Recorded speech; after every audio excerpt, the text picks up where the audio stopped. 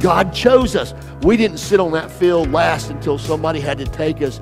God chose us from the very beginning. He chose us so that we could become creatures that share God's love with others, so that we could know Him. And as we come to know Him, we will be changed to be like Him, to be made in His image.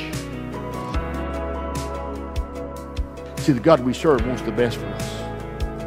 He's not the God that many people say out there is just waiting to crush you, waiting to hold everything against you. No, He's the God that loves you, accepts you where you are, cleans you up, transforms you into His likeness so that you can share the love that He puts in your heart with others.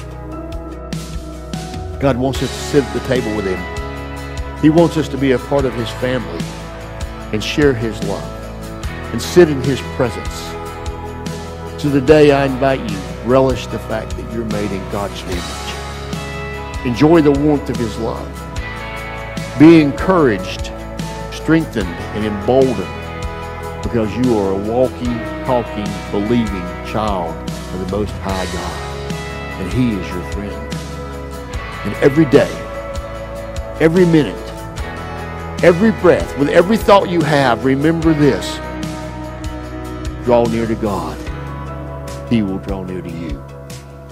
Draw near to Him and feel His love this day. Amen.